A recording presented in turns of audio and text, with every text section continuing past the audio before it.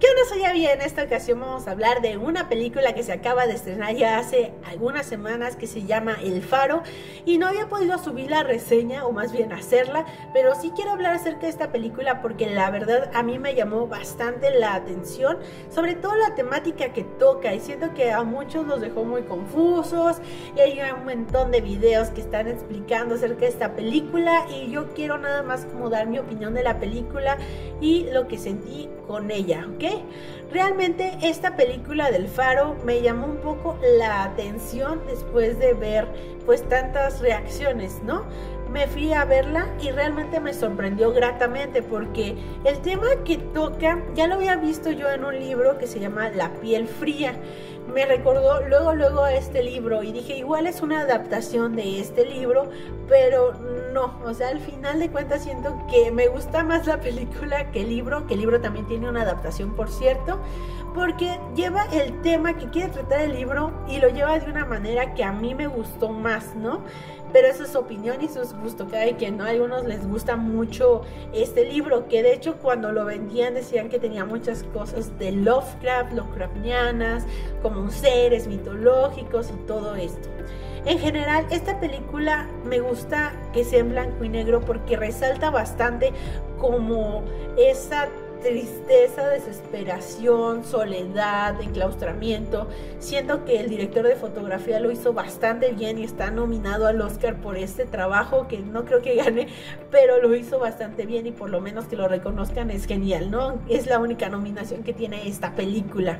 Por otra parte, nuestros dos protagonistas que son este Robert Pattinson y este William Defoe lo hacen genial. A mí me gustó muchísimo la actuación de ambos. Bueno, Willem Dafoe siempre actúa súper bien. Es, es, un actorazo que siempre, desgraciadamente, la academia siempre lo deja mucho de lado. No sé por qué ya denle un Oscar este hombre, lo merece. Hace papeles geniales, se mete muchísimo en los personajes y me encanta. Por otra parte, Robert Pattinson lo hemos conocido por no cosas tan buenas, pero sí tiene algunos trabajos bastante buenos. Y este es uno de ellos. Siento que lo llevaron a sacar como estas emociones el actor que lleva adentro, porque las expresiones y todos los cambios de comportamiento, temperamento que tiene el personaje en la película están geniales. A mí me gustó mucho. Hay una escena final en el faro que a mí la verdad me, me impresionó siento que lo hizo bastante bien y que también pudiera estar nominado a algo, pero pues tampoco lo estuvo. Ni modo, pero sí hay que reconocer que su trabajo es genial. Por otra parte, esta película es del mismo director de La Bruja. Esta película que dividió a mucha gente, a muchos les gustó un montón, a otros no les gustó nada, que era muy aburrida y pues a otros les encantó, ¿verdad? A mí en general La Bruja se me hace una película entretenida, a mí me gustó, pero no es así como el wow del terror para mí. Siento que tiene un estilo muy propio este director y últimamente los directores de terror o que se han animado a hacer terror han hecho cosas bastante interesantes, ¿no?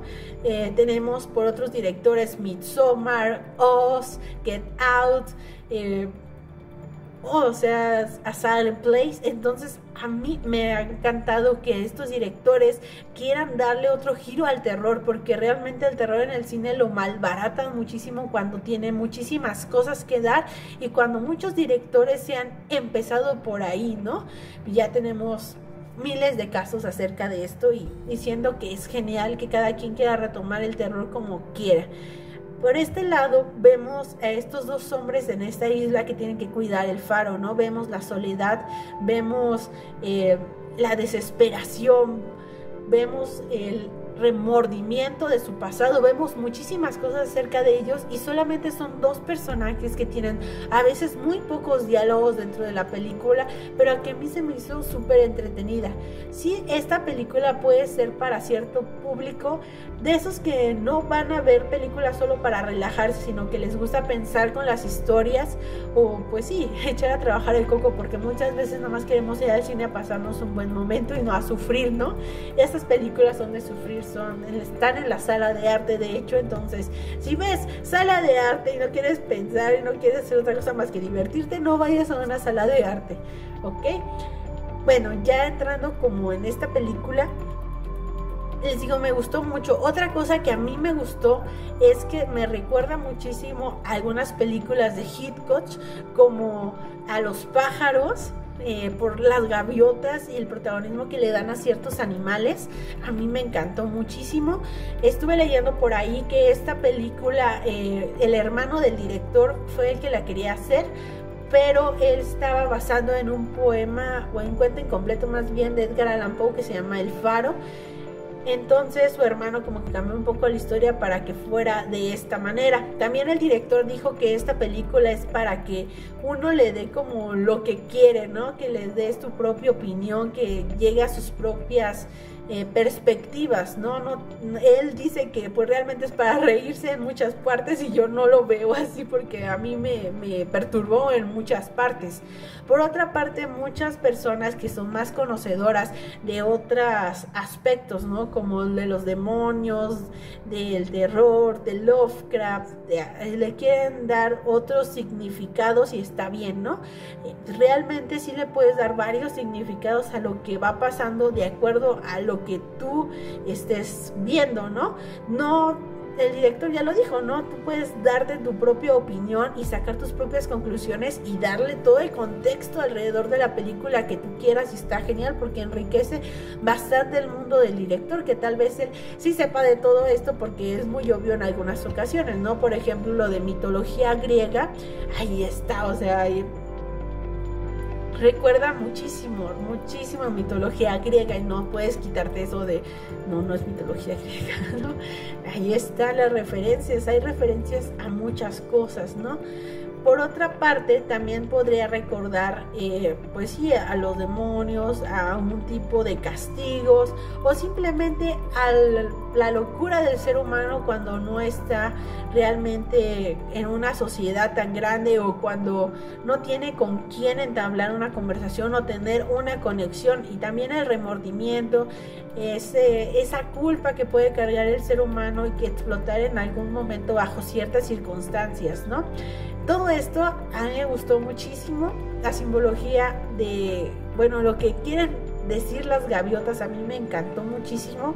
También el juego que te hacen de no saber si realmente el personaje es el mismo teniendo como una conversación o un diálogo entre él, sacando pues lo peor y lo mejor de él mismo al mismo tiempo, o el personaje de Robert Pattinson quiere o le teme llegar a ser alguien como el otro personaje que tenemos de William Defoe. Entonces está realmente genial. Siento que esta película sí debió pues catalogarse muchísimo más alto, aunque sí es cierto, es muy pretenciosa en muchos aspectos y por eso no llegan a las nominaciones. Como que a la academia le gustan películas que sí sean como más congruentes o que te den más una explicación, porque ya tenemos la forma del agua, ¿no? Realmente es una película fantástica con monstruos, pero sí te da cimientos y explicaciones. Entonces, en esta ocasión no, y eso como que le restó bastante de esta película. En general, yo la disfruté muchísimo. También me puse a ver muchos videos acerca de el final, de lo que se trataba, pero está genial que uno se haga sus propias conclusiones ya cuando reúnas toda la información y eso es genial, ¿no? Porque el, el director te dice, te dice, ve y busca y lo que tú llegues a la conclusión, pues puede ser algo que esté bien. Por otra parte, hay películas como el sacrificio del siervo sagrado que realmente sí debes de tener una base o la de mamá. Debes de tener una base para comprender ya todo, ya cuando te dicen, ah, es inspirado en el mito tal o está inspirado en la Biblia en tal, ya dices, ah, ya entendí. Pero esta como que no tiene muchísimas más cosas que ver y eso para mí fue lo que le dio más plus. Me encantan que estas películas que te llevan a miles de conclusiones y que el, mismo director te diga que es para reírte casi no Ok, señor, ok. Bueno, esto sería mi opinión acerca de la película del faro. No la quería dejar atrás porque realmente sí me gustó y quería dar mi opinión al respecto. Y ustedes vieron El Faro, les gustaron las actuaciones, les aburrió, se quedaron dormidos, se rieron al final, se quedaron de al final. Ustedes díganlo aquí abajo si la han visto. Y sin más, esta ha sido mi opinión. Ya saben que aquí hablamos de películas, series, libros, animación, etcétera, lo que nos va gustando y queremos comentar en nuestro día a día. Sin más, nos estamos viendo en un siguiente video. Que estén súper bien. Nos vemos. Bye.